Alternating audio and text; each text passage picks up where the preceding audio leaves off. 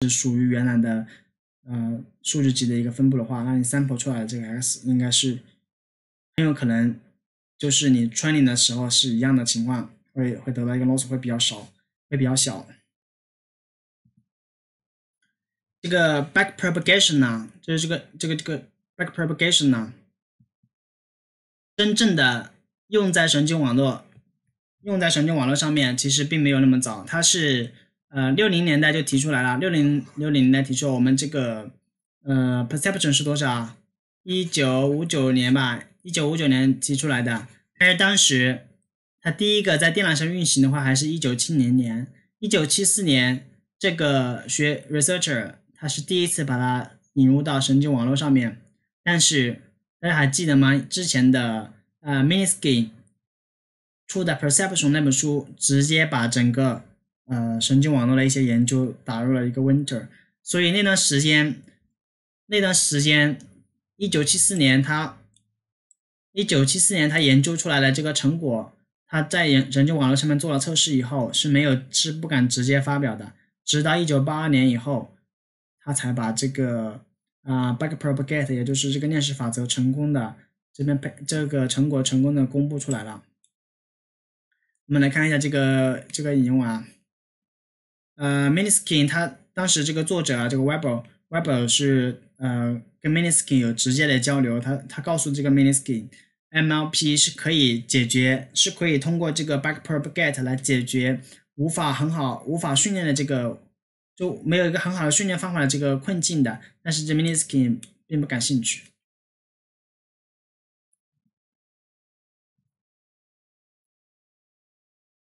现在我们，嗯，时间来到了一九八六年。一九八六年的话，八零年代算是神经网络的一个第二个高潮期吧。呃，由于之前的 AI window 的话，很多 paper 都没办法进行研究，只有非常非常少量的这个 researcher 在坚持呃研究这个东西。呃，其中就包括我们现在大家耳熟耳熟能详的 Jeff Hinton，这就是呃 Deep Learning 之父。他们在一九八六年 rediscover 了一个东西，rediscover 了这个呃 propagate 这个算法。为什么叫 rediscover？我们之前之前就讲了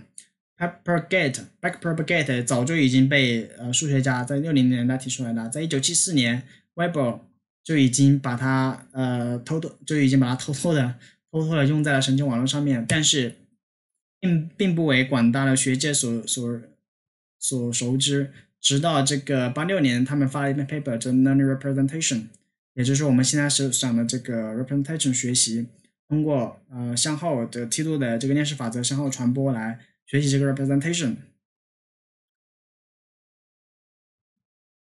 嗯，稍微稍微注意一下，这篇 paper 是发到 Nature 上面的，所以说。呃，应该还是影响力蛮大的。呃，与此呃随后的话，他们呃把把那篇 paper 的成果是是写在了一本书里面。这本书的名字叫做 Parallel Distribution Distributed Processing。这本书的第八章里面就会把呃就把这个 back propagate 用在神经网络用在神经网络上面的这个东西详非常非常详细的给予给予介绍了。嗯，在一九八九年，在一九八九年，这篇 paper 当时从理论上面给出了证明，嗯，就是说多层的神神经网络是可以逼近任何是可以逼近任何数据分布的。这样子的话，你在做做这个工作的时候，你就心里有了底气。只要你在能够在工程上面，或者说你在优化方面能够找到一个呃合适的解，能够帮助这个神经网络优化到一个合适的状态，那你这个神经网络它从它是没有一个 up bound 的，它是能够逼近任何数据分、任何数据模态的。怎么回事啊？嗯，我们来看一下当时一九八零年代的这个一九八零年代的呃 BC 发展的一个状态状态吧。一九八一九八五年的时候，英特尔还没有还没有三八六还没有出来，还只是说着手开始设计的三八六。一九八五年十月份的时候，三八六的一个早期版本才出来。就是说，当时他们他们做这些工作的时候，基本上基本上都是一些理论层面的工作，是没办法直接直接用当用现在电子计算机来来来做这个实验的。嗯，理论方面给出了保证以后，我们这些呃 machine machine learning 的早期的这些科研工作者，嗯，科研工作者就开始大展身手了。其中就包括非常有名的杨龙坤，也就是我们现在知道的这个 C C C N 的这个发明者啊。他当时做了个什么工作呢？他当时就嗯改良了当时的一个多层的感知机吧，把当把当时的多层感知机做一个改良。也就是说，把当前的多层感知机 MLP 改良成 CNN 以后，用在了这个 handwriting ZIP code，也就是这个手写的邮邮政邮政邮件体这个识别。这篇 paper 可以说是非常有影响力的一篇 paper 了，九八九能做的。我们可以看，现在还可以在它的官方网页上面看到这个 demo 啊，这就是一系列的手写的一个数字，嗯，数字输入，嗯，这边包括它不同的。一的不同的样式，它都可以非常好的识别出来。嗯，我们来看一下它当时最原始版本的这个这个这个神 CNN 是怎么实现的。就比如说，呃，二五六乘以二五六，也就是说，这里面是三十二乘以三十二的一个一个切割出来一个是是切割出来一个一个一个数字，一个数字以后一共用了这里有十二个 color，我们。也也就是说，用了十二个这样的呃